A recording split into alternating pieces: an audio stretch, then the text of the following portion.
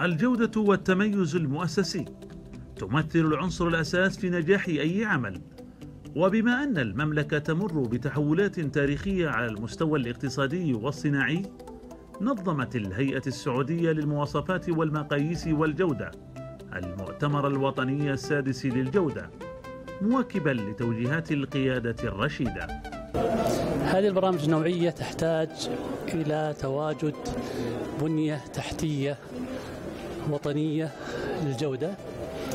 نعمل في الهيئة السعودية للمواصفات والمقاييس والجودة على استكمال هذه البنية مع شركائنا من القطاع العام والخاص.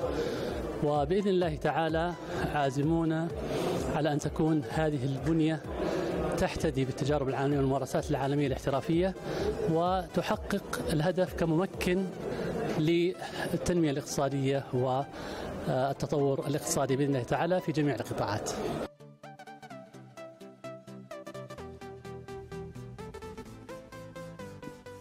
يعد هذا المؤتمر فرصة مواتية لتبادل الخبرات والاطلاع على التجارب الريادية العالمية حيث تم اختيار جمهورية سنغافورة كضيف شرف للمؤتمر. وذلك لما تملكه هذه الدولة من تجارب ريادية عالمية في مجال الجودة والتميز المؤسسي.